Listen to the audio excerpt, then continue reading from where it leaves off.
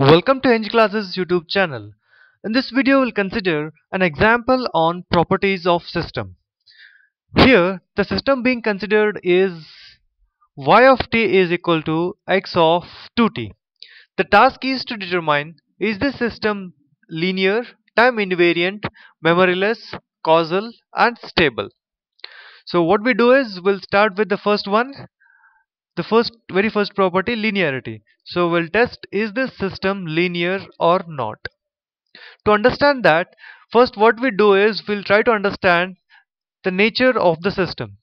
So I'll consider the input x of t and I'll get the output as y of t which is equal to x of 2t so I'll consider the system operator h. That is the nature of the system. Here what the system does is wherever it finds t it replaces with 2t so whatever you feed in the input x of t z of t whatever it is so it replaces t in that with 2t and gets you the output. So that is the nature of the system. So with that so we'll start first with the property linearity. For this I need at least two inputs. So I'll call them as x1 of t and x2 of t so first I'll scale these inputs by the scaling factors A1 and A2.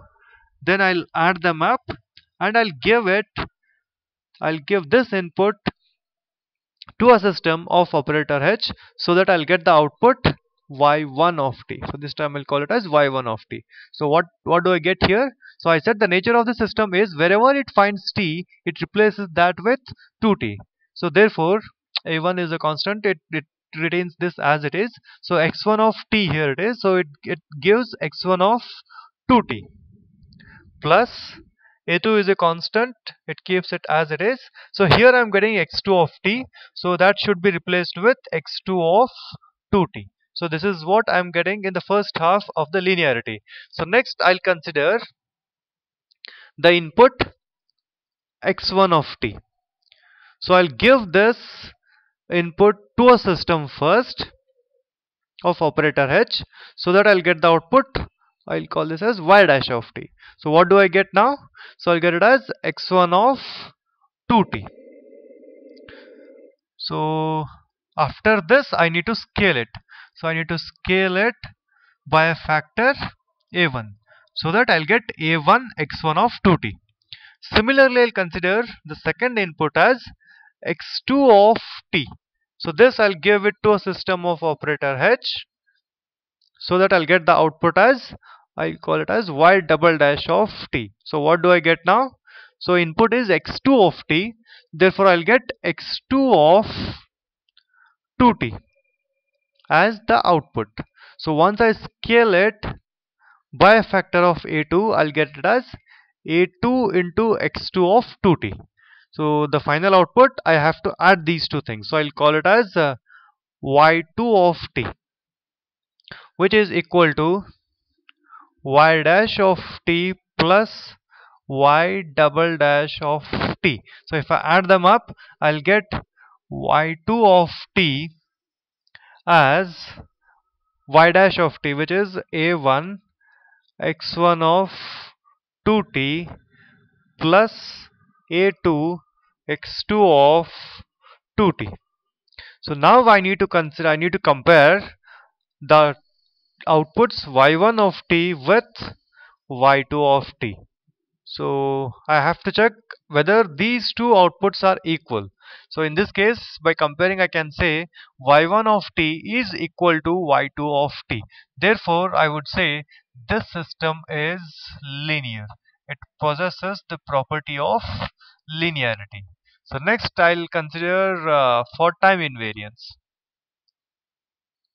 So that I shall write it over here.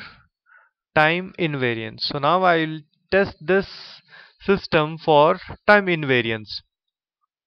As the name itself says time invariance. The output must be invariant to the time. Even though I vary the time the output should not change. The behavior of the system should not change. That's what time invariance means as per the definition, a shift in the input whether it is a delay or advance a shift in the input must lead to an identical time shift in the output. So that is the definition of time invariance. For that what I do is I'll consider first the shift in the input. So I said the input is x of t. Shift in the input means x of t minus t naught. So I'll consider this as the input. Now I'll give it to a system of operator h so that I'll get the output y of t. So what do I get now? So x of t minus t naught is the input. What is the output? So I said the nature of the system is wherever the system finds t it replaces with 2t so therefore here I'll get x of 2t minus t naught as it is because I said uh, the system replaces t with 2t so everything else remain as it is so output y of t is equal to x of 2t minus t naught in the first half. A shift in the input. So now I'll consider a shift in the output. For that I have to consider y of t minus t naught. So what is what is y of t minus t naught is so for this, I need not have to do anything. So I'll simply consider the expression y of t is equal to x of 2t, the given system. So to get y of t minus t naught in this expression, I need to replace every t with t minus t naught. If I do that, I'll get y of t minus t naught. So if I do that, so here x of 2 into bracket, now I am finding t. So I need to replace that with t minus t naught. So if I simplify it further, I would get x of 2t minus 2t naught. So this is what y of t minus t naught, a shift in the output. So a system to be time invariant, a shift in the input, that is the first case y of t, must be equal to a shift in the output. So I need to compare these two things, whether they are equal or not. So in this case, as they are not equal, I would say the given system is time variant. It is not time invariant or else I mean I mean to say the given system is time variant. So that is the second property. So now I'll consider the third property that is memoryless. So I would consider the third property. I would test this system for memoryless. So I'll check does this system possess any memory or not? The given system is y of t is equal to x of 2t. So if I want to define a system that possesses memory, that means if the output at any given time depends on the input of past or the future values, that, that system possesses memory. In other words, in contrast to that, if I say the system is memoryless. That means the output at any given time depends on the input at that time only. Such systems are memoryless. So this system, if I say, say for example, I want to find the output at t equal to 1. So that means I would get y of 1 is equal to x of 2 into 1 it is x of 2. So y of 1 is the present output. To find this I should know x of 2 that is the future input. So here the output at any given time depends on the future input. Hence I would say the system is not memoryless or else it the system has memory. So I can take another example. So let me find the value of the output at t equal to minus 1 so let's see what do I get. So it is y of minus 1 equal to x of minus 2 it is. Minus 2 into 1 is minus 2 so y of minus 1 is the current output. To find this I should know the past input. So in this case it is depending on the past input. So hence I would say the system possesses memory. Moving on the next property is causality a system is said to be causal if the output at any given time depends on the present or the past values of the input but should never depend on the future values of the input. That's what the causal system is. So to put it in simple words uh, until and unless I give the input I cannot predict my output. That's what causal system is. So let me check that. So it, the system is y of t is equal to x of 2t this is already being given. So to consider an example let me find the value of the output at t equal to 1 so if I do that output y of 1 is equal to x of 2 so the present value of the output as it depends on the future values of the input I would say the system is clearly non-causal so in this case the system is non-causal as the output at any time depends on the future values of the input. Hence the system is non-causal.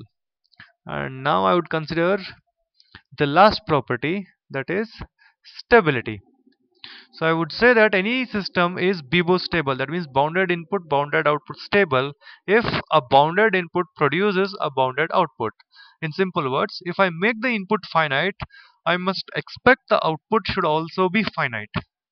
So for that what I do is I'll consider the input x of t. So I'll consider the magnitude of this.